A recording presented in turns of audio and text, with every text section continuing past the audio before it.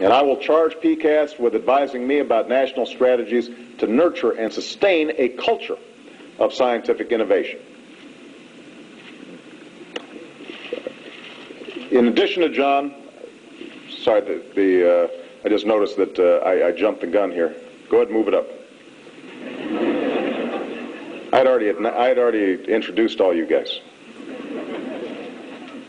In biomedicine,